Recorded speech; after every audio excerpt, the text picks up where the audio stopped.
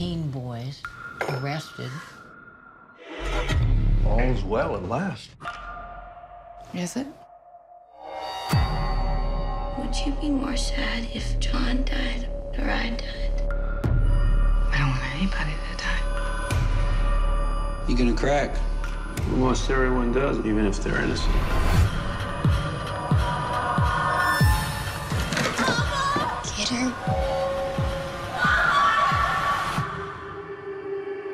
I've waited for this for so long.